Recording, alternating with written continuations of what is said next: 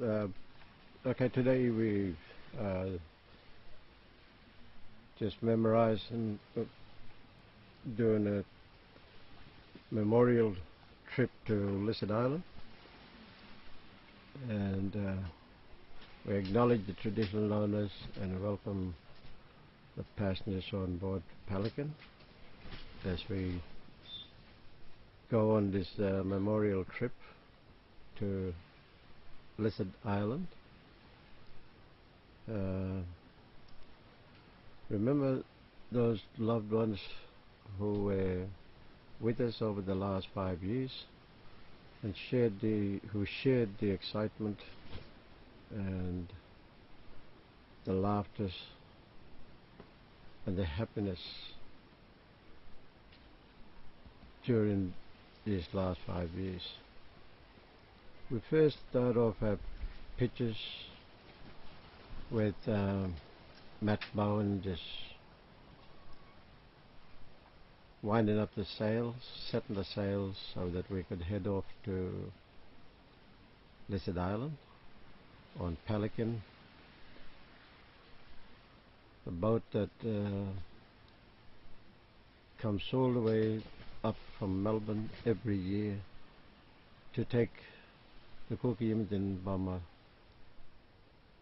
to wherever they want to go and help them uh, with their problems and uh, we give the kids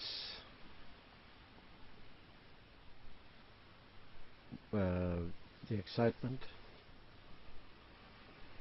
and uh, help them with by taking them on the boat uh, to wherever they want to go and taking them out on a day sails and let them feel the fun of riding the waves or feeling the wind uh, part their hair and uh, you know. Uh, as we come over to Lizard Island the people have heard a lot about Lizard Island. The island that many of our elders has been on. We'd like to um, acknowledge these people that have passed on. Firstly, Richard Woibo, who was with us last year on the voyage to Lizard. Valerie Bowen, who was with us a couple of years ago. Errol Deeral, who is a traditional owner for this Dingaal area.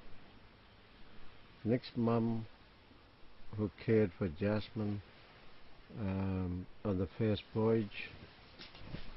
Uh, and who was just like a mother to Jasmine. Walter Jack, who was an elder of Hope Vale. Walter Bowen, who was an elder, and these two was with us on the first voyages out of Cooktown. These are people who left us, and uh, the voyage was made on their behalf to remember them. Then people might ask why this voyage, um, you know, it's going over to Lizard.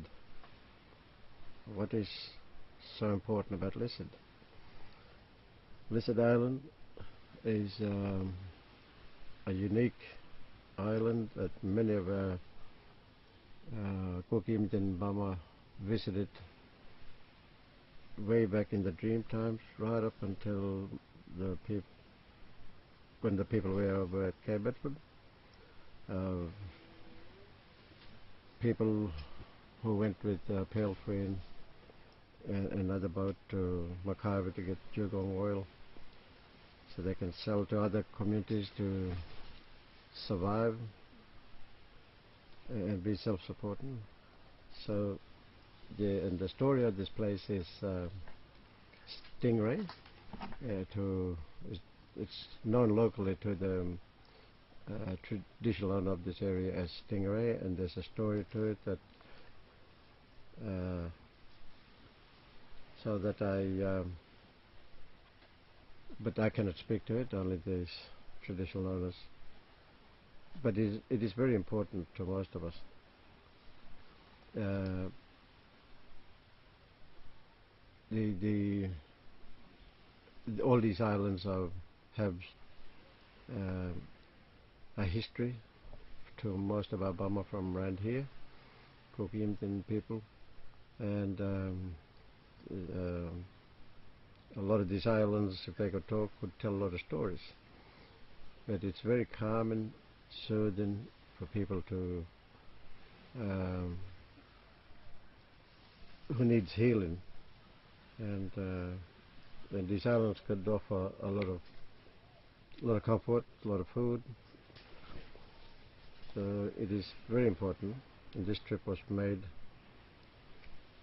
for these people on this very special island, and um, that on this very special boat on that very special day. Thank you.